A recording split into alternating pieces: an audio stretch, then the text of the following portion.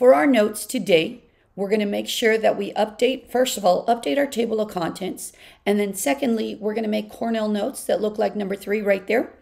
And today's lesson is on Thomas Jefferson's Embargo Act. So I'll give you a little bit of time to get that uh, set up.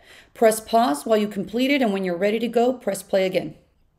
This is what our notes should look like. So make sure you do have them set up. Page 68. Make sure you put page 68 top right corner. We've been discussing the early republic. This is the time period where America finally is able to grow and prosper.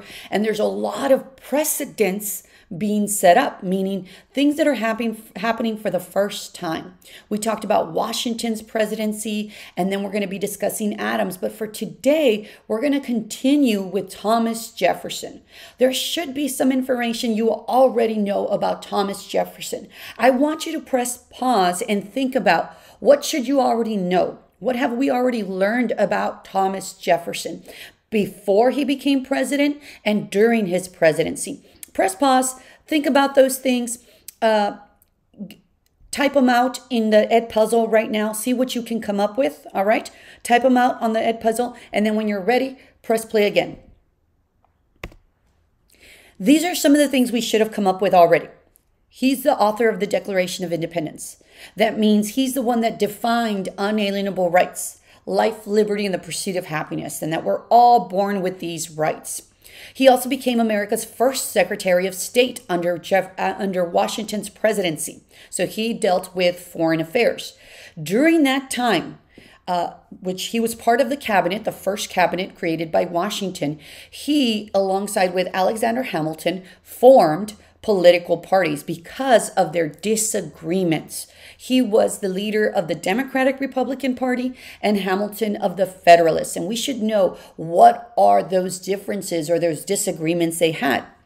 The extent of the federal power. So, should we have the power at the level of the states, or should we have it at the level, the, uh, or should we have a strong federal government like Hamilton wanted?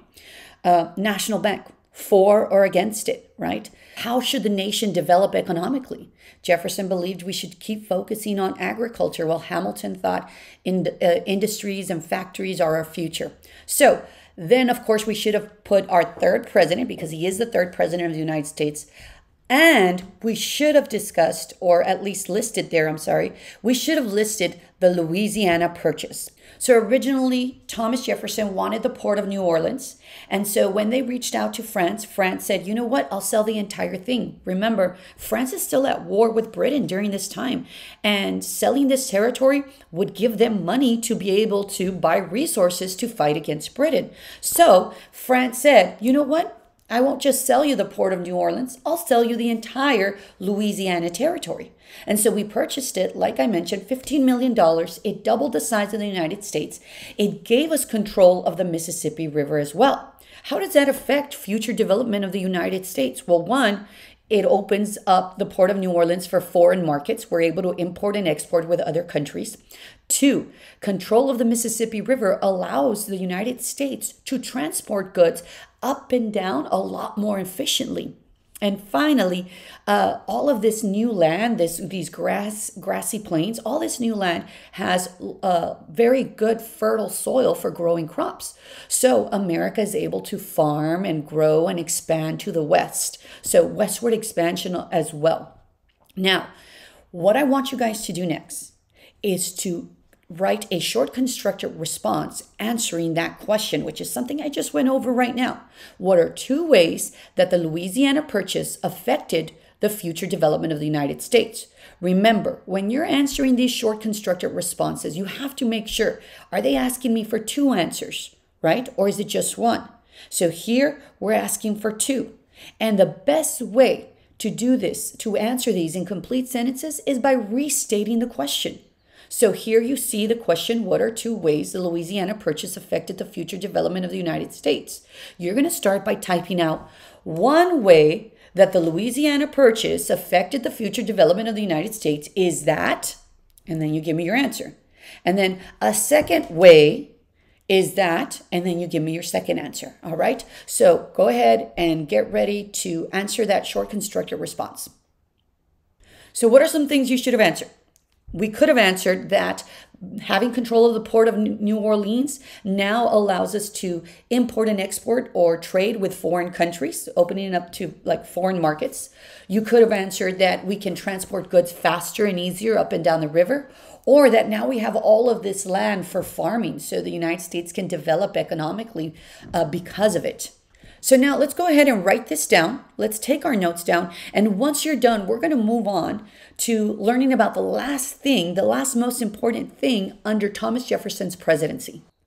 Meanwhile, as Jefferson is purchasing the Louisiana Territory, France and Britain are still fighting. They're continuing this war that they had back when Washington first became president. So Jefferson wants to honor and enforce the neutrality proclamations. He's trying not to get involved, but he's continuing commercial relations with both countries, meaning we're still trading with both countries. Britain and France are basically getting fed up that America is using both of them to make money, uh, and they want America to choose a side. So, what Britain starts doing is Britain starts to block Make sure that you look at me and you do this. Britain starts to block American trading ships. So, whenever uh, America is going to go trade with France or any other country, Britain blocks that trade.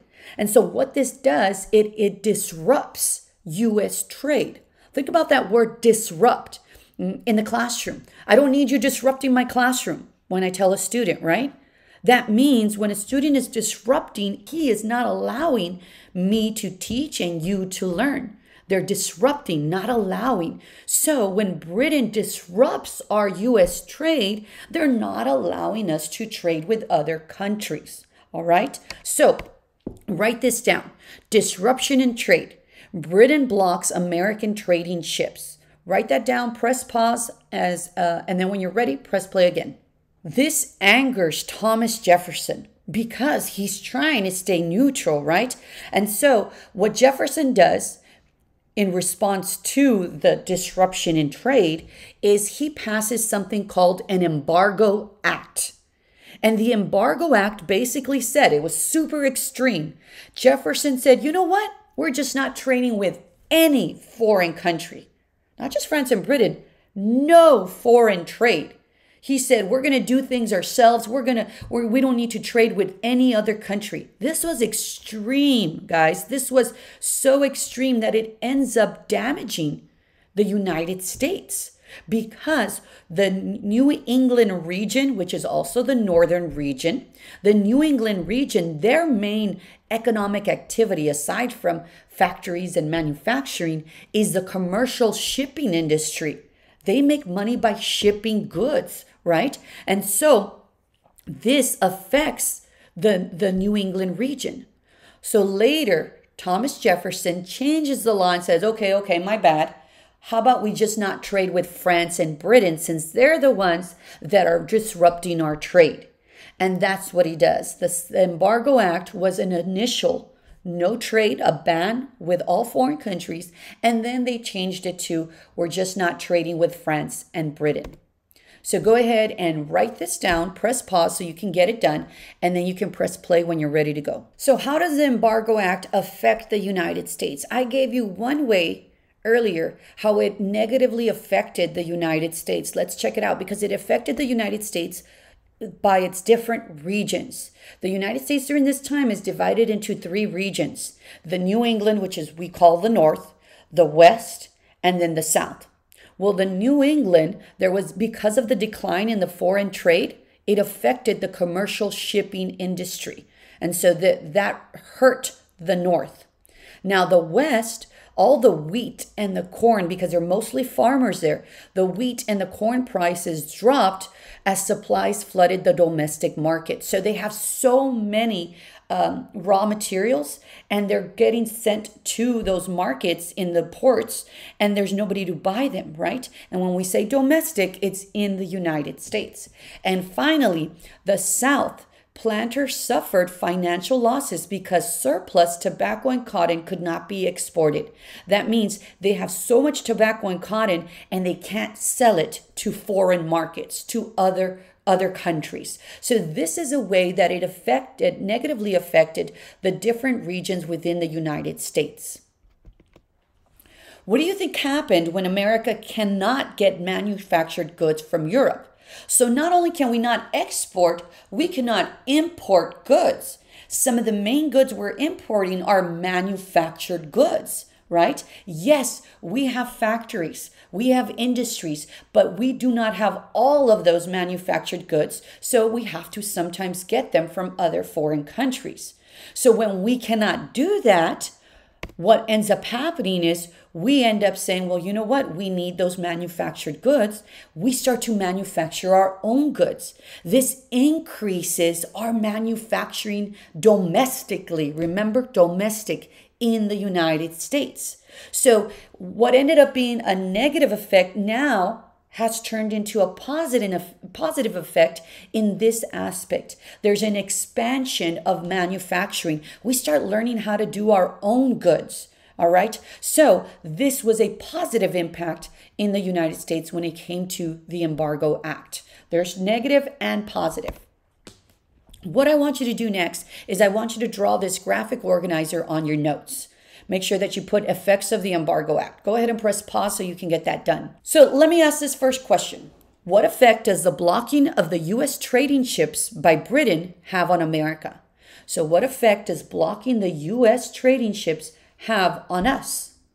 Because they blocked us, Britain is disrupting our trade. We cannot trade with other countries, right? We it's disrupting, it's not allowing us. So go ahead and write that down, press pause. What does President Jefferson do in response to this disruption of trade? He gets upset. What does he do? What law does he help pass? The Embargo Act which was a ban, go ahead and write that down, a ban on all commercial trade, which later he changes it and says, you know what, we're just not going to trade with France and Britain since they're the ones disrupting our trade. Next question How does the Embargo Act affect the United States? Remember, there are positive and negative effects.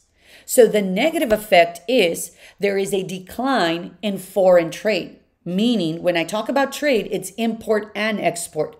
We cannot ex- export our goods. We cannot sell our, our raw materials, right, to foreign countries. And we cannot purchase manufactured goods from foreign countries. So there's a decline in foreign trade. Finally, what positive effect does the Embargo Act have on the economic development of the United States? If we recall, economic is money. So, how does this actually end up helping us financially in domestically in the United States? Well, there's an increase in domestic manufacturing. We couldn't get certain goods from Europe anymore, and we needed them and wanted them. So we start to manufacture them ourselves, giving us an increase in domestic manufacturing. Go ahead and write that down. So let's take a look at this next question. I'm going to read it for you, and then you're going to answer it. Read the passage and answer the question that follows. In the early 1800s, Great Britain was in a conflict with France. Both countries tried to prevent the United States from trading with the other country. As a result of British impressment of U.S. sailors, Congress passed the Embargo Act in 1807. This act closed U.S. ports to, to export and place restrictions on British imports. And in 1809, Congress repealed, meaning canceled that one, and replaced it with a law that specifically prohibited trade with Great Britain and France. So it's basically explaining what the embargo acts were. So, what was one effect of these actions on the United States? How did this affect the United States? A. The signing of the Treaty of Guadalupe Hidalgo. B. International criticism of the Monroe Doctrine. C. The expansion of manufacturing. Or D, increase profits from international commerce? Go ahead and answer this question. We should have all answered C, the expansion of manufacturing. Why? We cannot get those goods from them anymore. We have to make them ourselves. The next question Every region within the United States got affected by the Embargo Act. There it shows you that the West all of their grains, such as wheat and corn, those prices for those grains dropped. It's cheaper because we have so many of them. And why do we have so many of them? Because we can't export them. So the prices drop. The South Planners suffered financial losses because they have a surplus, like too much tobacco and cotton, these raw materials, and they can't export them. How did the Embargo Act affect the New England region, which is your north? Which sentence best completes this table? Is it F, prices for manufactured goods decreased? G, factories closed as workers returned to farms? H, a decline in foreign trade damaged the commercial shipping industry? Or J, fishing revenues decreased as a result of reduced demand? Go ahead and answer that. We should have all answered H. There was a decline in foreign trade. So, because we couldn't buy and sell to other countries, guess what? Our commercial shipping industry cannot do their job. They can't. They have they they're basically out of a job, right? Because now they're being told, no, we're not shipping, we're not trading with other countries. And that was their job, the shipping industry. So that's how uh, it affected them. Alrighty, boys and girls, that concludes our Embargo Act lesson. So make sure that you complete and you watch this till the very end, and then you get ready for our next lesson, which you can find in Google Classroom.